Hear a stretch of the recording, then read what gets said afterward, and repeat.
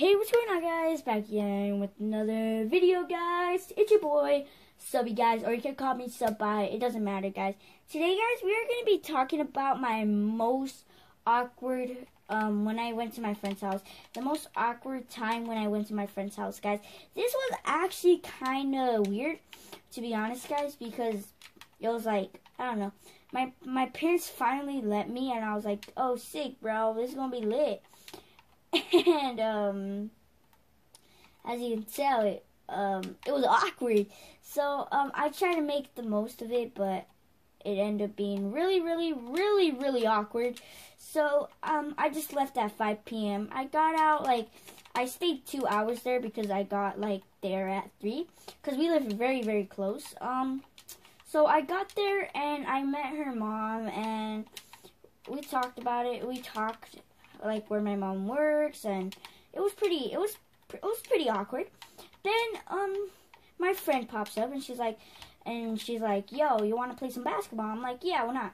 So I went to play some basketball, bro, and I was scoring shoots, man. Weird flex, but okay, man. I was scoring freaking shoots, bro. It was awesome, and um, so so she told me that she got grounded because they didn't turn off the the um the the PS4 right, so they just got um grounded. I thought that was freaking ridiculous.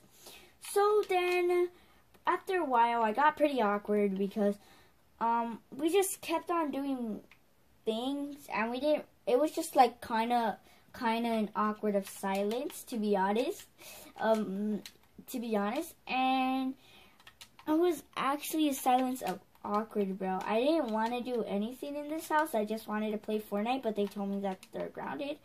So we did basically did nothing. We played like basketball again, and then and then um here's where it gets um actually actually um weird. Okay, so my my my friends say that there's this crazy dog. I'm like, oh, so I can't go near the fence. And they're like, no, please don't. It's going to start growling at you. And soon enough, it did. And I was the most unluckiest person in the freaking world, man. And I got freaking scared. I'm like, oh, shoot. All right, you were kind of right. Um, so that happened. And I was like, and it was like 4.30. And I'm like, I'm like, bro, I gotta go, man. And then